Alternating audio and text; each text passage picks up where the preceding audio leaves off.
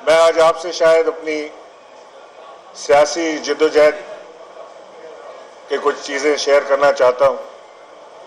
मेरे सामने मुजाहिद बरेलवी साहब बैठे हैं जिन्होंने मेरा पहला सियासी इंटरव्यू किया था और शायद आज मेरी आखिरी सियासी प्रेस कॉन्फ्रेंस भी वो विटनेस करने आए हैं।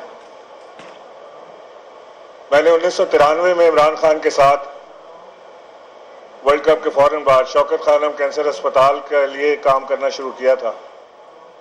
और मेरी उनके साथ ये एफिलिएशन बहुत गहरी रही, बहुत ज़बरदस्त साथ रहा उनके साथ।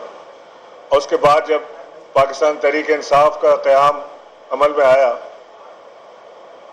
मैं बहुत यंग था, छब्बीस, सत्ताईस साल का था। लेकिन मैं उन चार लोगों में था जिन्होंने पाकिस्तान तरीके इंसाफ का संग बुनियाद रखा था। यानी कि बानी मेम्बरान में से था। और फिर एक बड़ी लंबी जिद्दोजहद आप सबके सामने रही। सत्ताईस, अट्ठाईस साल हमने एक सियासी जिद्दोजहद में गुजारे। और इस जिद्दोजहद में बहुत सारे उतार चढ़ाव आए। हमने एक ऐसे पाकिस्तान का ख्वाब देखा कि जिसमें तरक्की होगी, खुशहाली होगी, नौजवानों को रोज़गार मिलेगा, पाकिस्तान के लोगों की ज़रूरियात पूरी होंगी अस्पताल अच्छे होंगे एजुकेशन अच्छी होगी और इसी ख्वाब को लेके कुछ नहीं देखा पलट के। मेरा ताल्लुक एक इंडस्ट्रियल बैकग्राउंड से है। और मैंने कभी अपने वालिद की इंडस्ट्रीज़ की तरफ़ पलट के नहीं देखा। बस इसी ख्वाब को चेज़ करते रहा कि हम एक बेहतर पाकिस्तान बनाएँगे। और फिर अल्लाह ने 2018 में हमें मौका दिया अपने ख्वाबों को पाए तकमील तक पहुँचाने का। पौने चार साल हमारी हुकूमत रही, कोशिश रही कि क्योंकि हम पहली दफ़ा आए थे, ना तो जो बेकार थे। कोशिश रही कि जो प्रोग्राम बनाया था उसको डिलीवर करें, कुछ कर सके, कुछ नहीं कर सके कर सके, इसका फैसला तो अवाम करेगी। और उसके बाद फिर हमारी हुकूमत फारिग हुई, पौने चार साल में। सत्ताईस साल जद्दोजहद के बाद पौने चार साल की हुकूमत। उससे हम बाहर आए और फिर एक जद्दोजहद का आगाज़ किया कि हम दोबारा से ग्रुपिंग अपनी करके, अपने आप को मज़बूत करके दोबारा हम इलेक्शन की तरफ़ जाएँगे और अवामी रबता मुहिम का आगाज़ किया गया। इस अवामी रबता मुहिम में हमने फिर बहुत सारी स्ट्रगल देखी। इमरान खान के ऊपर हमला देखा। पब्लिक रैलीज देखी गैदरिंग देखी। फिर कहीं डाइवर्जन आ गया। डाइवर्जन आ गया कि एक नैरेटिव बिल्ड होना शुरू हो गया। कि पाकिस्तान तरीके इंसाफ का मुकाबला फौज से है। और इस डाइवर्जन में या इस नैरेटिव बिल्डिंग में बहुत सारे दोस्त अनकंफर्टेबल रहे। बहुत सारों ने खान साहब को एडवाइस दी कहा बहुत ठीक कर, काम कर रहे हैं, ये ये मुनासिब है। और बहुत सारे इसमें खिलाफ भी रहे। अब आज तो हर आदमी बैठ के कहता है कि मैं इसके खिलाफ था, लेकिन जिम्मा किसी ना किसी को लेना है। और मैं नाम नहीं ले रहा, लेकिन वो लोग आज बैठ के सोचे हैं, जिन्होंने खान साहब के गिर्द बैठ के इस तरह की एडवाइजेस दी। और अजीब अजीब नामों से हमने पुकारा, कभी मिस्टर एक्स कभी वाई कभी डर्टी हैरी कभी कुछ कभी कुछ। और ज़ाहिर है कि वो एक आम आवाम के जहन में ये बात बैठ गई कि हमारा मुकाबला सियासी कुतों से नहीं है, बल्कि इस्टेब्लिशमेंट के साथ। खान साहब का अरेस्ट होता है नौ तारीख को। और उसके बाद मुल्क में गदर शुरू हो जाता है। मैं नौ तारीख को शाम को शाह महमूद कुरैशी के साथ कराची से इस्लामाबाद चला जाता हूँ। और मेरे जो पार्टी के लोग थे, वो कुछ नाराज़ भी हुए कि जी आप इस एहतजाज में नहीं आ रहे, आप इधर से उधर चले जाते हैं, उधर से उधर चले जाते हैं। ये मेरा एक डिस्कम्फर्ट शो कर रहा था कि ये मुनासिब नहीं है। और उस मनोज दिन, नौ तारीख को हमला होता है जीएचक्यू के ऊपर कोर कमांडर के घर के ऊपर, उस जहाज़ के ऊपर जो एम एम आलम ने उड़ाया था शोदा की निशानियों पे। इसका फैसला अभी होना बाकी है कि वो हमला किसने किया था। और जिस किसी ने भी वो हमला किया था मिनासुल कौम, हम सब इकट्ठे होकर इस बात पे यक आवाज़ है कि जिस किसी ने भी हमला किया उसकी इंक्वायरी हो और उसको करार वाकई सजा मिले ख्वास का ताल्लुक, तहरीक इंसाफ से हो या ना हो। लेकिन उसकी इंक्वायरी होनी चाहिए उसको सजा मिलनी चाहिए। हम सब का दिल अपने शहदा के साथ है, ज़ाहिर है, जब किसी शहीद की लाश, उसके जवान बच्चे की लाश घर पर आती है, उसका दुख उसके माँ बाप समझ सकते हैं। हम तो दूर से बैठ के देखने वाले लोग हैं। मेरे बाकी साथी जिन्होंने प्रेस कॉन्फ्रेंस की सबने अपने अपने बताए ताल्लुकात के वो फौज से कितना इंटरलिंक्ड है। मैं नहीं हूँ इंटरलिंक्ड मेरे ख़ानदान में कोई फौजी नहीं गुजरा। लेकिन मेरा दिल तो है ना अपने पाकिस्तान के साथ। मैं ये कैसे कह सकता हूँ कि मैं क्योंकि मेरे ख़ानदान में कोई फौजी नहीं गुजरा, लिहाजा मेरा फौज से कोई ताल्लुक नहीं है, मेरा ताल्लुक है। मेरा एक वास्ता है। मैं पाकिस्तान एयरफोर्स में जाना चाहता था। बचपन से मेरी ख्वाहिश थी कि मैं जीडी पायलट बनूं। मेरी वालदा ने मुझे सिर्फ़ इस वजह से नहीं जाने दिया कि वो जंगों में जाते हैं, महाज पे जाते हैं, वहाँ शहादतें होती हैं और मैं अपना बेटा नहीं खोने देना चाहती। लेकिन आज भी ऐसी माएँ ज़िंदा है जो घर में एक शहीद की लाश आने के बाद दूसरा बेटा पेश करती हैं कि इसको भी आप ले लें फौज में और इसको भी ले जाएँ। ये बड़ा दिल गुर्दे की बात है, बड़ा दिल चाहिए इसके। कोई कोई भी फौजी सिपाही की बात कर रहा हूँ पचास हज़ार रुपए के लिए बॉर्डर पे जान देने को तैयार नहीं होता। या है कोई आदमी जो पचास हज़ार रुपए के लिए जाके जान दे दे तो मुझे बता दें।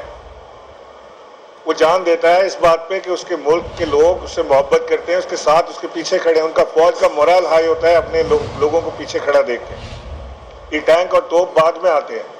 पहले तो मोरल लड़ने का दिल तो पकड़े वो दिल जब पकड़ेगा जब कौम साथ खड़ी हो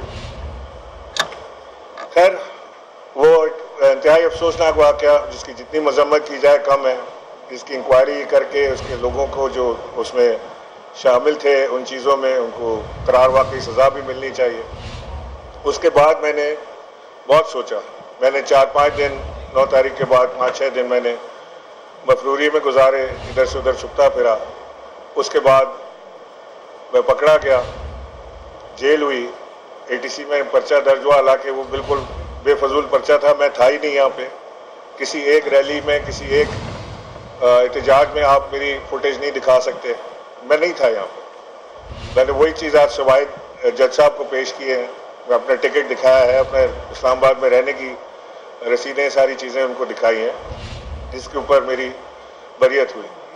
और आज मैं बरी होने के बाद, जब मैं आज़ाद शहरी की हैसियत से हूँ, मुझे कोई जेल का ख़तरा नहीं है। मेरे पे कोई और पर्चे नहीं है। मैंने ये फैसला किया है और मैंने ये बड़ा सोच समझ के फैसला किया मैंने ये फैसला किया है कि मैं पाकिस्तान तहरीक इंसाफ की तमाम अहदों से, क्योंकि मैं एडिशनल सेक्रेटरी जनरल हूँ, मैं कोर कमेटी का मेंबर हूँ, मैं तमाम अहदों से इस्तीफ़ा देता हूँ, मैं पाकिस्तान तहरीक इंसाफ से मुस्ताफ़ी होता हूँ, छोड़ता हूँ पाकिस्तान तहरीक इंसाफ, और मैं आज के बाद से कोशिश करूँगा कि जो कुछ मुझसे बन पड़े अपने मुल्क के लिए करूँ, सियासत का मुझे अभी इल्म नहीं कि मेरी आगे जारी रहेगी, कि ख़त्म हो जाएगी, कि यही मेरा आखिरी सफ़र था, यहीं तक मेरा सफ़र था सियासत में। लेकिन जितनी मुझे पाकिस्तान की कौम ने मोहब्बत और इज़्ज़त दी, उसका मैं उनका मशहूर हूँ। अगर किसी का दिल टूटा हो मेरे से तो मैं उनसे माजत माफ़ी भी चाहता हूँ। और मैं यहाँ पर खान साहब, आपको खुदाफिज कहता हूँ और पाकिस्तान तहरीक इंसाफ को अल्लाह हाफिज कहता हूँ। पाकिस्तान जिंदाबाद। बस छोड़ेंगे कराची में सबक गवर्नर सिंध इमरान इस्माइल की प्रेस कॉन्फ्रेंस जारी। उनकी जानब से कहा गया कि शायद आज मेरी आखिरी सियासी प्रेस कॉन्फ्रेंस हो। पीटीआई के चार बानी मेम्बरान में से एक मैं हूँ। पाकिस्तान बदलने का ख्वाब लेकर जिद्दोजहद शुरू की। बेहतर पाकिस्तान बनाने के लिए जिद्दोजहद की पीछे पलट कर नहीं देखा। इमरान खान से बड़ा अच्छा ताल्लुक रहा। जिद्दोजहद के दौरान सियासी तहरीक में मोड़ आ गया। एक बयानिया बन गया कि पीटीआई का मुकाबला फौज से है। वो लोग बैठकर सोचे जिन्होंने इमरान खान को ऐसी तजावीज दी। इमरान खान को डर्टी हैरी और उस तरह तरह के दूसरे मशवरे दिए गए। नौ मई वाकयात की तहकीकात हों, जिम्मेदारों को सजा मिले। जिम्मेदार का ताल्लुक पीटीआई समेत किसी भी जमात से हो, सजा मिलनी चाहिए। मेरे खानदान का फौज से बरह रास्त ताल्लुक नहीं, लेकिन मेरा दिल पाकिस्तान के साथ है।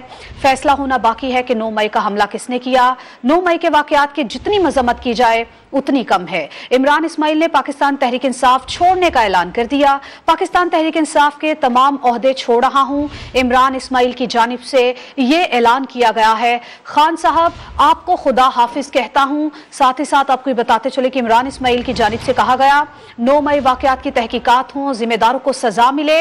फैसला होना भी बाकी है कि नौ मई का हमला किसने किया। इमरान इस्माइल की जानब से प्रेस कॉन्फ्रेंस की जा रही थी। प्रेस कॉन्फ्रेंस करते हुए इमरान इस्माइल की जानब से ये कहा गया है कि वो तहरीक इंसाफ छोड़ रहे हैं। बाजाबता तौर पर प्रेस कॉन्फ्रेंस करके इस बात का ऐलान कर दिया।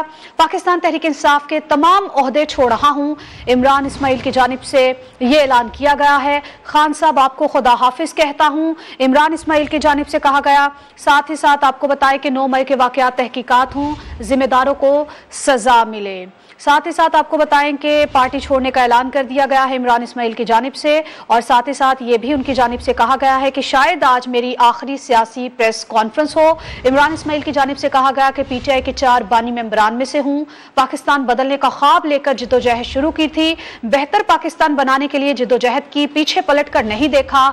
इमरान खान से बड़ा अच्छा ताल्लुक रहा है। जिदोजहद के दौरान सियासी तहरीक में मोड़ आ गया।